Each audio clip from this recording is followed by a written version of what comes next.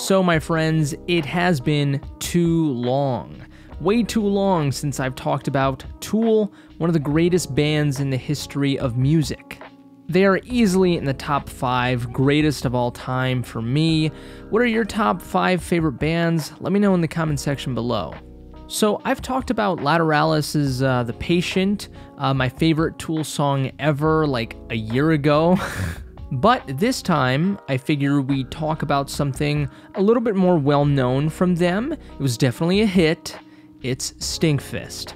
This song, guys, is like a relic. It belongs in a museum because it's probably the last Tool song that had an actual normal runtime. It clocks in at like 5 minutes, which is perfect. It's a perfect length for a song, and I honestly wouldn't mind if all Tool songs were 5 minutes. As much as I love them, this song, though, definitely shows you that you can have the best of both worlds substance and brevity. It goes out to prove that overindulgence can be a sin, and that moderation, restraint, and even the subtle should be of importance. ah, see what I did there? You Tool fans know what I'm talking about. You'll see what I mean for those of you that don't know. So, this was actually the first Tool song that I ever listened to, and I'm really glad it was. It's not too long to scare anyone away, but it's also not too simple so as to appear mediocre. Alright, enough blibber blabber, let's begin. The way this song starts is so eerie and weird. I don't even know what the sound exactly at the beginning is, but it sounds so cool, and I gotta say, it's iconic. The explosive intro, too, is awesome.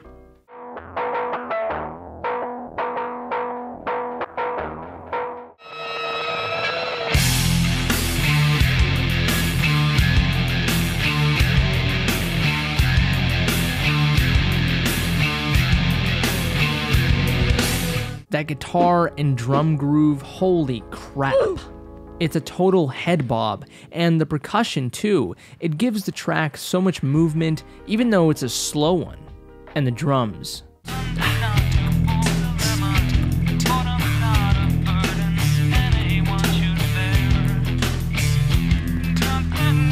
That bass.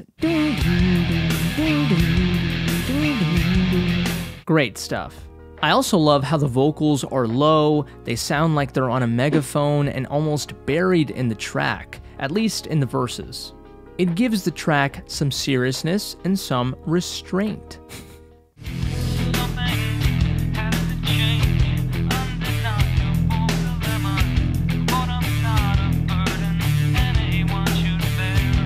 Even though the lyrics of this song are a huge part of it, the band still wants you to pay mostly all of your attention to the music. On the contrary, mainstream music places vocals at the forefront. They almost do it to the extreme, which is a little too greedy. It really just spoon feeds the audience. That verse melody is brilliant too. It has great travel and flow. Da-da, da-da, da-da, that was a fly.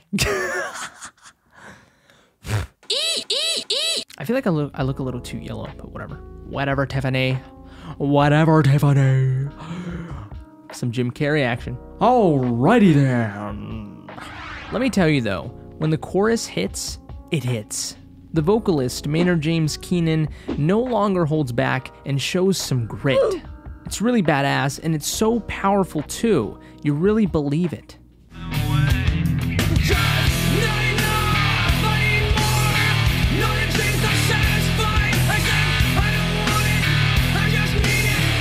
It helps that the song too here just kind of expands musically, uh, and it really prepares you for that really hard post chorus.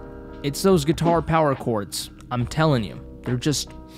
Mwah, gotta love it.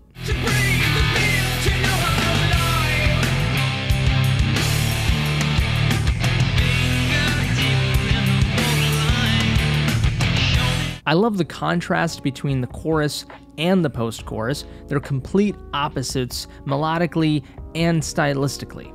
But that's what makes it interesting. Now, I think it's time to talk about the lyrics. Yeah, so this song on the surface, is about anal fisting.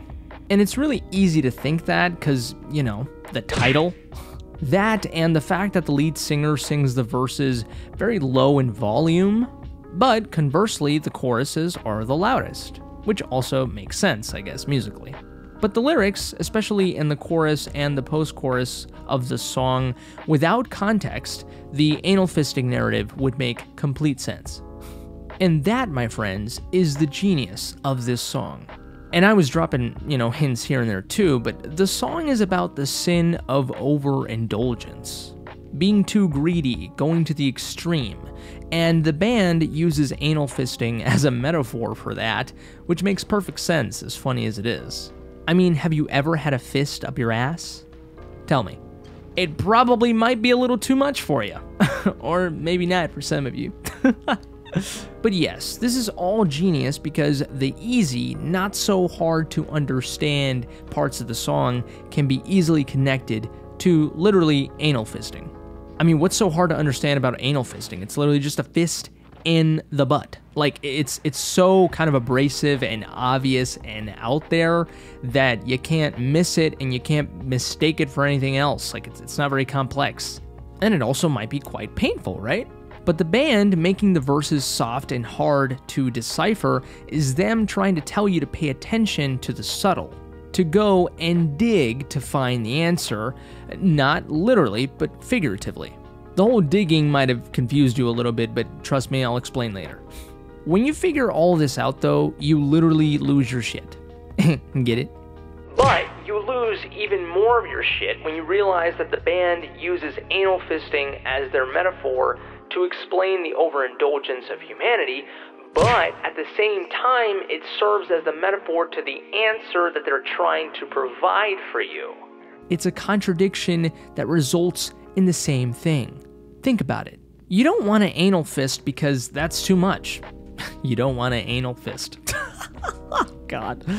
You don't want an anal fist because that's either too much or too lustful or too greedy, figuratively, that is. What you really want to do is you want to face problems head on in life. You gotta dig deep into the solution to enlighten yourself and come out successful, right? The song literally says, I'll keep digging until I feel something, which can be taken either way, to be fair the bad way or the good way, but you know which way is the right way. The song also talks about how society is so desensitized and they don't appreciate subtlety anymore, which is true. In a way, the subtlety are all the details that one needs to focus on to better themselves. It's all the intricacies because it's the big and obvious things that give us so much pleasure, yet they're the worst things for us. Drugs, toxic behavior, temptations, etc.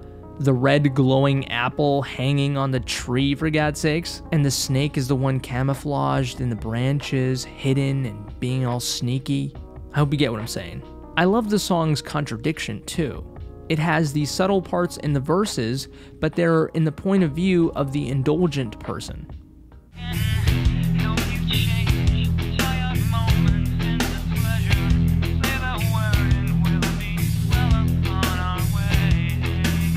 Throughout the song, we get subtle references to the true meaning of the song, but overall, it sticks to the anal fisting metaphor. Again, though, the contradiction and the metaphor of the song are essentially the same, the only difference being the perception that you take on them. That's honestly so genius and it's so obvious and it happens many times throughout music and art and in film, but it's still so clever when it happens. It's weird. I guess that's another contradiction thing that, you know, I sort of justify in my head. Now, I of course saved the best for last, the instrumental section of this song is what made me fall in love with Tool. I haven't taken any sort of, you know, drugs in my life ever, not even like marijuana, but this is the closest I will probably ever feel to that because I already feel weird when I listen to it, so I can only imagine what would happen if I were to take some substance. But that's definitely a compliment. But yeah, I mean, this part has rising action, which makes sense given the narrative of the song, and the climax is obviously so, so good. It's satisfying and it gives me chills, and it always will. I just love the chords in it. Just brilliant.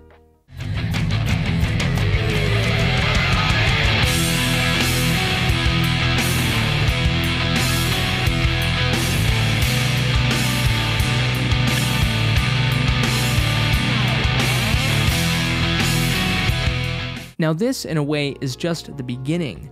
When the song goes into the How Can This Mean Anything to Me section, it's quiet, it has falsetto, it's beautiful with the guitar, and then bam, it just knocks you right out. I'll keep digging till I feel something.